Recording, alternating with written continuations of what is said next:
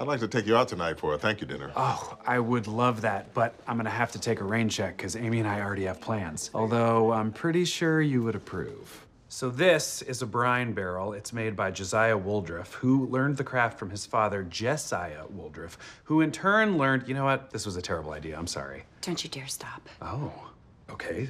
Josiah's cousin Joshua was a cooper, not a hooper. Oh, Mama. I know how to solve this. We just have to find out which football player had third period with Brandon Bliss. We need his class schedule. Yeah, but where are we gonna find that? In the coolest room in the school.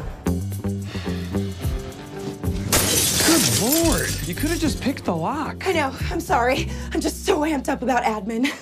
Okay, I've got something. Oh, that's not Brandon's profile, it's mine. I just want a quick peek at your attendance record. Zero absences. Oh, mama. Printing this for later. Keep it in your pants, Santiago. Oh, that's exactly where it's going. Let me show you this. Yeah, Santiago, settle a little tiff that Kevin and I are having. Let's be honest, Raymond, it's not a tiff, it's a row. And now it's a scene. It's okay, sir. We don't want to get involved in your personal life. It's not personal, it's a math problem. Oh, Pass. Mama. Oh, he's so disappointed. Look, I'm sorry that I got you involved in this. I never should have volunteered us. No, Jake, it's not your fault.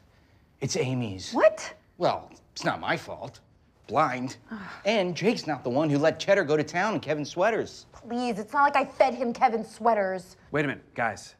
I think this is Kevin's fault. No, Jake, it's Amy's. I know you're trying to be a cool boyfriend. Yet another reason why it's not your fault, but Kevin's in Paris. Exactly, and that's why I think it's Kevin's fault. I have an idea of how to find Cheddar. Amy, don't act weird when I say this, but we're gonna need to use the binder. Oh, mama.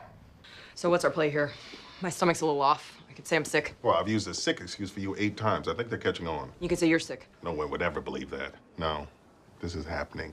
But don't worry, I have a plan to keep things from getting too personal.